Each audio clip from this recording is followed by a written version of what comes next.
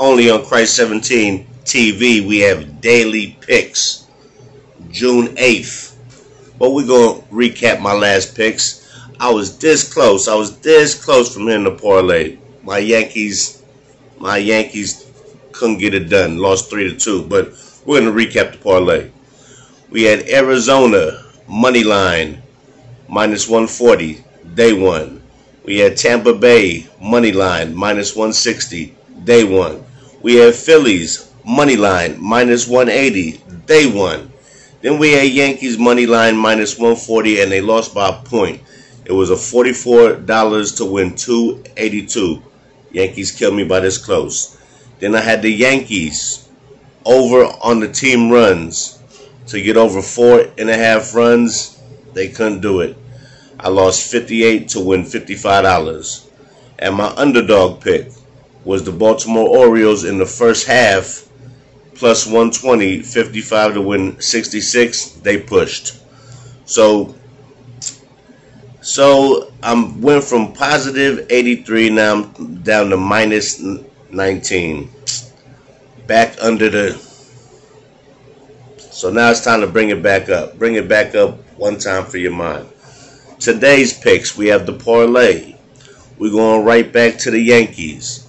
We got Yankees money line minus 140. Game one. We have Phillies run line one and a half minus 112. Now we have Yankees in game two. We're going for the first half money line minus 140. $40 wins me $182. Now we're going for the straight because the boys are due to, to have a big day. I'm going for for runs over in game one, four and a half minus 105, 53 wins me $50. And for my underdog pick of the day, we got Verlander versus Strider, Mets and Braves. They got Verlander a heavy underdog. So I'm going with the old man. Mets in the first half money line plus 175. 45 wins me $78. You know what I say about this time. We do not condone or promote gambling on this channel. This is Cryse 17. This is all for fun.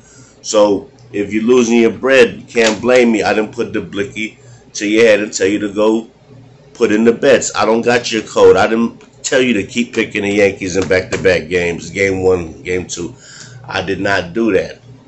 So, if you out there doing some shit you ain't supposed to be doing, you waiting for you waiting for the man's to leave the crib because you know he got a stash in a shoebox under his bed and you trying to break through the side window, you got a problem. Call the 1-800 number, my brother. You know what I'm saying? if you breaking in the stores through the roof with a rope like a ninja at 3 in the morning trying to get some money because you owe the bookie big, call the 1-800 number. It's not Cryse 17 TV's fault. Bam, this is the book, and I'm going to throw the book at you every time. So good luck and God bless. Like I said, if you have a problem, call the 1-800 number because you can't blame Cryse 17 TV. If you out there doing shit you ain't supposed to be doing, taking penitentiary chances because you owe stacks and stacks and stacks, and the bookie's looking for you to crack your head open. Can't blame Cryse 17 TV. I don't got your code. I didn't tell you to pick the Yankees every single day. That's what I did. That's my choice, not yours. You take my picks, they for fun. Cryse 17 TV. Get you some, man. Let's get this money tree back rolling all the way to the top. Cryse 17 TV. Gotcha.